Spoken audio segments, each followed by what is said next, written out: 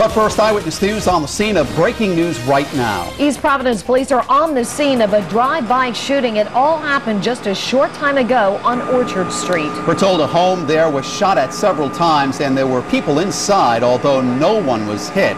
Orchard Street from North Phillip to South Prospect has been blocked off. We do have a crew on the scene and we'll bring you more information as soon as it becomes available.